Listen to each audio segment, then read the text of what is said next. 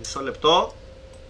Ξεκινάμε λοιπόν πάλι το ρεκόρ τη Ελένα αντίον Πάμπος 2. Ναι, επαναλαμβάνω. Έχουμε τελειώσει τα τρία πρώτα παιχνίδια στις 5 νίκες αυτό το Best of 9. Αντώνη και επιλογή του Τζισελέρ είναι προσωπικά το αγαπημένο μου map. Είναι ένα map που δεν είναι αρκετά γνωστό. Ε, έπαιξε για λίγο καιρό στο GSL. Ε, μετά βγήκε από το Mapool. Είναι το Calm Before the Storm. Ουσιαστικά, όχι ουσιαστικά, αποδεδειγμένα το μεγαλύτερο map που υπάρχει και θα το διαπιστώσετε και μόνοι σας. Έχει αρκετά εύκολο τρίτο. Δηλαδή έχει ένα natural μέσα στο αρχικό σου, δηλαδή με κοινή ράμπα και έχει ένα τρίτο που είναι ακριβώς απ' έξω, με ένα ψηλομικρό choke point. Ε, λοιπόν, δεν ξέρω αν... Ο αν... Πάμπος πάλι βλέπει το replay προφανώς. Ωραία, αφού βλέπει το replay πες κάτι να έρχομαι σε ένα λεπτό. Οκ. Ναι, νομίζω ότι αν ο Zerg πάει σε κάποια θέση στα προηγούμενα παιχνίδια, αυτό είναι το χαρακτηριστικό του Πάμπου. Ο Τζισελέρ έκανε κάτι που έβγαζε τον Πάμπο από την άνεση που ένιωθε. Δηλαδή στο πρώτο παιχνίδι ήταν αυτό το περίεργο το άνοιγμα με το ένα gate ε, το οποίο ανάγκασε τον Πάμπο να βγάλει πολλά lings και από εκεί πέρα νομίζω είχε τελειώσει το παιχνίδι. Στο δεύτερο παιχνίδι ο Πάμπος τον πίεσε πολύ ωραία. Ο Τζισελέρ με τα Phoenix έκανε αρκετή ζημιά. Ο Πάμπος μετά έβγαλε πάρα πολλά Hydras. Δεν ξέρω για ποιο λόγο έκανε τέτοια, τέτοιο πράγμα. Πήγε να πιέσει. Αυτό το χαρτί δεν τον βολεύει αυτό το πράγμα. Είναι μεγάλε οι αποστάσεις ε, ανάμεσα στα spawns. Ε, δεν δούλεψε αυτό και μετά ο Τζισελέρ τον σκότωσε σχετικά εύκολα. Ήταν θέμα χρόνου, εφόσον ο Πάμπος είχε μείνει σε τρεις βάσεις για τόση πολλή ώρα. Οπότε σε αυτό το τρίτο παιχνίδι το ένιωθε αρκετά άνετα ο Πάμπος, έβγαλε τις τρεις βάσεις του, είχε 70 drones που είναι το ιδανικό για τρεις βάσεις θα λέγαμε, είχε το speed αρκετά γρήγορα, άρα ένιωθε αρκετά ασφαλής όσον αφορά την άμυνα. Ο Τζισελέρ έκανε πάλι ένα λίγο περίεργο άνοιγμα, έβγαλε αυτό το, ένα, ένα Stalker, ένα Zealot πίεση που πήγε να κάνει, έφαγε τη βασίλισσα αλλά έχασε, έχασε το, το Zealot και το Stalker, κάτι το οποίο για μένα δεν άξιζε αυτή η ανταλλαγή. Και από εκεί και πέρα πήρε ένα τρίτο το οποίο δεν ήταν ε, ιδιαίτερα άπλιστο. Ήταν normal το timing. Ε, ο Πάμπος δεν μπορούσε να το πιέσει απευθείας στο τρίτο. Πήγε να κάνει αυτόν τον τρόπο που σαν ιδέα μου άρεσε πάρα πολύ. Πιστεύω ότι αν το είχε εκτελέσει σωστά θα έκανε γιγάντια ζημιά επιτόπου. Το εκτέλεσε λίγο χάλια, του βγήκε βέβαια και πάλι και ανοίξει το παιχνίδι. Ωραία. Λοιπόν, επέστρεψα. Ναι. Ε, για να δω. Πάμε, πάμε. Go. Λοιπόν, ε, να πούμε όσοι προβλέψατε 5-0 ή 0-5 μπορείτε να πάτε, μπορείτε να πάτε στο κουβά όπως είστε. Ανταλλακτήρια παίζουν, ξέρω εγώ, μπορεί να ανταλλάξει το στοίχημά σου και τέτοια. Mm, όχι, γίνεται; αλλά ωραίο θα ήταν να είχαμε live. Να δούμε απόδοση και έτσι. Ναι, ρε παιδί μου, βλέπεις τον έναν ξέρω εγώ 8 pool και τον άλλον ε, Nexus First. Mm. Ε, θα το και προσαρμόζεται η απόδοση αυτόματα. Λοιπόν, έχουμε λοιπόν στις 5 η ώρα του χάρτη τον κόκκινο τόρ στον GSLR από Clan NB, δεν θυμάμαι το πλήρες όνομα, όποιος το ξέρει ας μου το πει. Και από την άλλη τον GR8 Pampos από την Κύπρο. Πάρα πολύ καλός παίκτης Αντώνη και θυμάμαι ότι είχε κάνει ιδιαίτερη εντύπωση στο πρώτο παιχνίδι που τον είδαμε με τον Erasmus. Ναι. Γενικά δεν θυμάμαι πότε είχα. Το πρώτο ήταν με τον Erasmus ή με κάποιον άλλον. Με το Psycho Baba, όχι, με το Rasmus ήταν. Ναι. Με θυμάμαι, ναι, ότι, θυμάμαι ότι και από το πρώτο παιχνίδι μου έκανε εντύπωση. Το οποίο εντάξει μου έκανε εντύπωση γιατί δεν τον ήξερα προφανώς.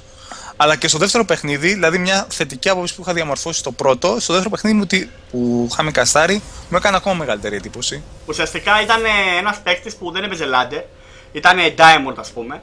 Και μου έλεγε ο Μέλιντρον ότι είναι πάρα πολύ καλός, ότι έχει ταλέντο, ότι, ότι είναι καλός, ότι ξέρει, είναι γρήγορος κτλ. Απλά δεν παίζει. Ρε, μου έλεγε είναι καλύτερος από μένα. Του έλεγα άπαπα, άμα δεν τον δω δεν το πιστεύω. Ναι, το θυμάμαι, το θυμάμαι αυτό, ναι. Mm-hmm. Γιατί και εγώ τον πίστευα τότε. Λοιπόν, ο Τζισελέρ επέλεξε αυτό το map. Δεν ξέρω ο Πάμπος πόσο το έχει παίξει. Κατά πόσο πρόλαβε να κάνει πράξη σε αυτό το map. Κοιτάξτε τώρα πόσο εύκολο natural έχει. Είναι μέσα στο αρχικό σου. Έτσι, είναι μια κοινή ράμπα μετά για το τρίτο. Για να δούμε. Είναι πολύ ναι, μεγάλο είναι χάρτης, ναι, είναι πολύ μεγάλος χάρτης, πολύ ασφαλές στο natural. Το τρίτο επίσης πάρα πολύ ασφαλές γιατί είναι δίπλα στη ράμπα του αρχικού σου. Αυτό που δεν άρεσε σε αυτό το map γενικά όμως είναι ότι έχει πολύ μικρά choke points. Κοίτα διαδρόμους. Δηλαδή παρόλο που είναι τεράστιος, έχει πολλά κενά. Οπότε κάνει choke points. Ε, να πούμε σε αυτό το map χαρακτηριστικά, έβλεπα GSL όταν είχε μπει και είχα δει PvP, δηλαδή φαντάσου πόσο ας πούμε μάκρο και μεγάλο map είναι, που είχα δει Forge Expand σε PvP τώρα, ξέρω εγώ, G- ε, Codes. Μάλιστα, ναι. ναι, μάλιστα το θυμάμαι χαρακτηριστικά. Ήταν ο Killer. Ο, ο Killer, κομπλέξτη πλέον, με άλλον έναν δεν θυμάμαι ποιον. Εντάξει, να πούμε ότι το Forge Expand το έχασε. Έτσι. Α, πάλι καλά. Έχασε, ναι, εντάξει, εννοείται, τον τιμώρησε ο άλλος. Απλά έτσι να δώσουμε μια ιδέα του πόσο μεγάλο map είναι. Ε, Ε, εννοείς ο expand admin- στο πίσω μέρος, όχι στο μπροστά. Ναι, στο πίσω, Στο- απλά έκανε Forge μπροστά στη ράμπα. Ναι, ναι. Ο admin, ε, αν θέλει κάτι, γιατί μου το έγραψε στο Skype, ή να το πει το Αντώνη ή να μου το πει στο Starcraft. Δεν μπορώ να κοιτάξω. Ναι, όπως είπες και εσύ αυτός ο χάρτης, παρόλο που είναι μεγάλος, δεν έχει πολλά ανοιχτά σημεία για να μπορείς να κάνεις μια περικύκλωση. Μάλλον περικύκλωση μπορείς να κάνεις, αλλά δεν έχει ανοιχτά σημεία. Δηλαδή έχει πολλούς διαδρόμους, αλλά είναι στενή διάδρομη. Και αυτό όταν είσαι πρώτος, με την βοήθεια των force fields, μπορείς πολύ εύκολα να κάνεις το map hack σου, το, να κάνεις διαμόρφωση του χάρτη όπως θέλεις.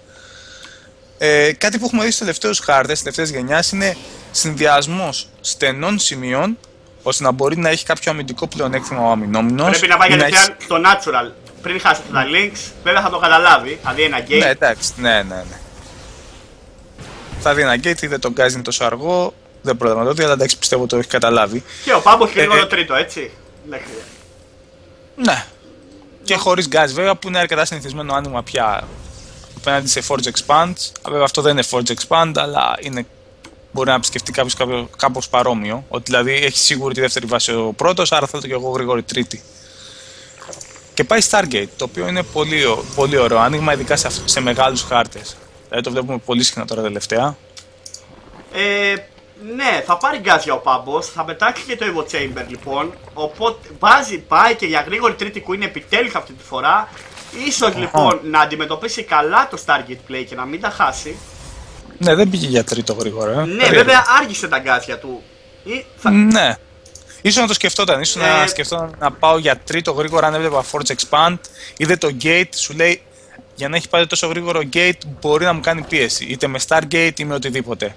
Λες να δούμε Και το- γρήγορο. και το- Ναι, πες, συγγνώμη. Και το φοβήθηκε αυτό, γι' αυτό πήρε τον Γκάζι, πιστεύω και καλά έκανε κιόλας. Να βλέπεις κοίτα εδώ, πώς, απευθεία. Να. Νομίζω ότι ήταν πολύ σωστή η απόφαση, γιατί είδε το Gate Expand, ήταν η Forge Expand, είδε τα γρήγορα γκάζια.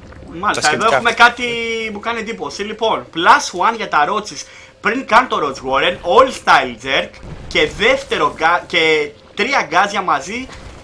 Δεν ξέρω, περίεργο build του Πάμπου. ίσως να δούμε Lair κατευθείαν χωρίς speed link. Δεν ε, θα με χάλαγε να σου πω την αλήθεια. Πιστεύω ακόμα περιμένει, περιμένει να δει αν θα σκάσει κανένα Phoenix, κανένα Void Ray. Ναι, εντάξει, το natural το τρίτο μπορούσε να το πάρει.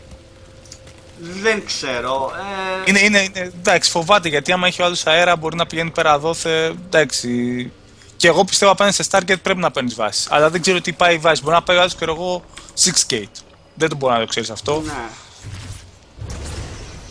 Πρέπει να έρθουν οι κούνοι να βοηθήσουν αργή αντίδραση του Πάμπου. Δεν καταλαβαίνω γιατί έφερε και τις δύο κούνοι πολύ γρήγορα. Θα χρειαστεί άλλο ένα lift.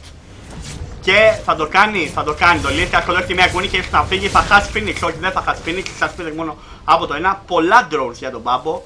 Από πίσω Sports και Lair είναι αυτό που σου έλεγα. Lair λοιπόν και, και Link Speed νομίζω ότι δεν είχε στο μυαλό του αυτό και σίγουρα δεν είναι ένα τόσο μελετημένο build. Ναι, είναι λίγο περίεργο. Ναι, Ναι, γιατί δείχνει- το παίρνει και speed και range. Τι ξέρω. Το range. Σκεφτώ να πάει Roach, σκεφτώ να πάει Hydra. Ναι, είναι λίγο περίεργο. Ναι, Το φαίνεται- range upgrade. Ε, όχι, εντάξει. Τολμώ να πω ότι κατά πάσα πιθανότητα φαίνεται η έλλειψη εμπειρίας του Πάμπου. Αλλά παραμένει ένας πάρα πολύ καλός παίκτης. Αυτά τα Phoenix κάνουν τρομερή ζημιά. Ναι. Δεν περίμενα να κάνουν τόσο πολύ ζημιά αυτά τα Phoenix. Έχουν φάει πόσες βασίλισσες, ε, Overlords. Δεν στο supply του Πάμπο είναι 61 από 44. Και ουσιαστικά βλέπουμε μια επανάληψη του πρώτου παιχνιδιού. Ναι, μου θυμίζει και εμένα το πρώτο παιχνίδι. Με αρκετά πιο γρήγορο τρίτο αυτή τη φορά του Τσελέρ. Με πάρα πολύ καλή οικονομία. Πάλι σπάρει 52 drones έναντι 48. Το τρίτο. Ελπίζω να μην πάει διπλό Spire γιατί θεωρώ ότι είναι λίγο αυτοκτονία. Εντάξει, όχι λίγο αυτοκτονία, εντάξει. Απλώς θεωρώ ότι είναι λίγο υπερβολή. όταν είσαι τόσο πίσω να πας διπλό Spire. Βέβαια θες τα upgrades για να αντιμετωπίσεις και τα αφήνεις πιο καλά, αλλά θεωρώ ότι είναι λίγο υπερβολικό. Μόνο θα πάει για διπλό, όχι. Θα έπρεπε να έχει κατεβάσει ένα sport crawler κάτω. Αν θέλει να γίνει ασφαλή, έρχεται και άλλο Phoenix και άλλα Phoenix από πίσω. Τα gates ετοιμάζονται. Αντώνη 4 και 3, 7. Plus 1, ε, όχι, Forge τώρα ξεκινάει. Και έρχεται ένα counter attack. Δεν θα καταφέρει να κάνει κάτι. Ακριβώς θα πέσει και το Force Θα δει βέβαια όλα τα gates και πρέπει να προετοιμαστεί. Πάει για Spire, θα φάει και άλλες Queen. Ναι, δεν δε βγάζει Queens βασικά ο Πάβος. Τώρα άρχισε ξανά να βγάζει Queens. Μία Queen. Drones. 14 drones. Μία Queen, 14 drones. Τώρα έχει Spores. Έχει δύο Spores. Εντάξει, OK, okay, άμα έχει δύο Spores ανά βάση, κάτι μπορεί να γίνει. Αλλά κοίτα πόσο overlord χάνει. Δηλαδή. 1930 resources χαμένα. 2.000. Έναντι 50. Ναι, αυτό νομίζω τα λέει όλα. Και βγάζει Corruptors. Τα Corruptors είναι πολύ καλό counter απέναντι στα Phoenix και το πιο, το πιο σημαντικό είναι ότι συνήθως όποιος πάει Stargate Phoenix περιμένεις ότι θα βγάλεις Hydra και μετά πάει αυτόματα κολοσσού. Δηλαδή σταματάει συνήθως στα 4-5 Phoenix. Αυτή τη φορά έχει βγάλει παραπάνω Phoenix ο, ο GSLR, όχι φτάσει στα 8. Όπως και να Κάτι έχει. το οποίο δεν το βλέπουμε συχνά. Όπως και να έχει. Αλλά ναι, Roach είναι Warren, πολύ καλό. Roach Warren δεν υπάρχει, τώρα πέφτει και νομίζω ότι με το push που έρχεται ο Giselaire θα τον τελειώσει. Πήγε για το plus 1 με τα Roaches, αλλά τα Phoenix τον αποσυντώνησαν, θα βγουν κάποιοι Corruptors. Είναι πολλά τα Phoenix. Θα χρειαστεί Θα πάρα προτιμούσα να πολλά δω μερικά Spines. Corruptors και μερικά Roaches βασικά. Ναι, δεν έχει Το Roach ότι Warren, πάει- τώρα πάει, τώρα τελειώνει. Δηλαδή το ξέχασε. Δεν ξέρω αν το ξέχασε. Εντάξει. Δεν μπορώ να το ξέρω αυτό, αλλά όπως είπες και εσύ πιστεύω ότι τώρα θα τελειώσει το παιχνίδι. Γιατί ναι, μεν τα Corruptors αυτά κάνουν counter τα Phoenix, αλλά μόλις φας τα Phoenix και το Force στη ράμπα. Insult to injury που λένε. Ναι. Ό,τι μπορεί βγάζει, δεν είχε Roach Warren και γι' αυτό θα Δεν βγάλει είχε Mutas και Lynx. Να πούμε ότι upgrade δεν έχει καθόλου τη Seller, αλλά ούτε ο Πάμπος έχει.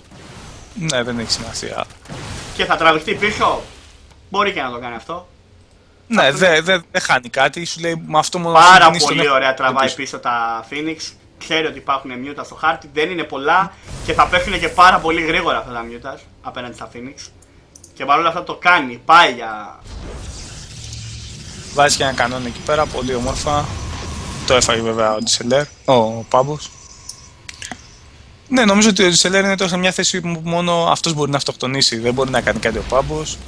Θα προσπαθήσει να ξαναπάρει το τρίτο το Πάμπος. Ελπίζω ότι δεν θα ξαναπιέσει ο Ντισελέρ. Εμένα δεν θα μου κάνει εντύπωση και να ξαναπίεζει ο Ντισελέρ. Αλλά ξέρω ότι είναι ήδη πολύ μπροστά. Πιστεύω θα πάρει ένα τέταρτο για να νιάσει ότι είναι πιο ασφαλής. Το τέταρτο μετά σε το- αυτές τις θέσεις βέβαια δεν πολύ ευνοούν για το Tisseler γιατί είναι πιο κοντά στον Zerk και το άλλο είναι αρκετά. Έχει βράχια και το ένα και το άλλο. Ο- Χάνει τα Phoenix, χάνει τα Phoenix και αυτό είναι μεγάλο λάθος. Ναι, δεν ξέρω κατά πόσο έχει σημασία να σου πω την αλήθεια. Δεν έχει. Όντως έχεις δίκιο. Δεν έχει σημασία γιατί κοίτα τα πόσα stalkers έχει. Και κοίτα πόσα gates, δεν υπάρχει τέταρτο. Ακριβώς, Ναι. πάμε. Ωραία. Plus 1 τελείωσε. Θα ήθελα να δω και ένα plus 2, τα λεφτά τα έχει. Και από την άλλη ο στρατός του Πάμπου είναι διασκορπισμένος και είναι κάποια links, κάποια Τσάπα μύτας. μύτας εδώ, ψοφίσανε. Όχι, δεν υπήρχαν οι μύτας, τώρα τα φάγανε. GG. Έτσι. Ναι. Πολύ άνετη νίκη από τον Τσελέρ. Ε, πιστεύω ότι δεν το διαχειριστηκε ιδιαίτερα καλά ο Πάμπος στο αυτό το άνοιγμα. Το ψηλιάστηκε. Έβγαλε πολύ γρήγορο spore crawler, ε, πολύ γρήγορο Evo Chamber, ώστε να μπορεί να βγάλει spores. Αλλά ούτε έβγαλε queens, ούτε έβγαλε spores εγκαίρος. Και μετά αυτό το, συν- το ranged attack δεν το κατάλαβα. Μετά το Roach, γενικά πολλά μπερδεμένα πράγματα πήγαιναν εκεί πέρα, τα οποία δεν ξέρω αν ήταν επειδή δεν ήξερε το χάρτη ή αν είχε βγει εκτός ρυθμού. Δεν ξέρω, δεν, δεν νομίζω ότι αξίζει να το σχολιάσω αυτό το παιχνίδι, γιατί νομίζω ότι το έπνιξε ο ίδιος ο Πάμπος. Δεν, δεν μας έδειξε δηλαδή, το καλό του πρόσωπο, όπως μας έδειξε το προηγούμενο παιχνίδι. Μμμ. Ε, μου, λένε για, μου λέει ένας μόνο για lag. Ναι. Ναι, δεν νομίζω. Τέλος Δεν πάντων. ξέρω. Τώρα να στο... ε, ωραία λοιπόν. Τζισελέν εναντίον Πάμπος 3-1. Σταματάμε το ρεκόρτ και περιμένουμε την επιλογή χάρτη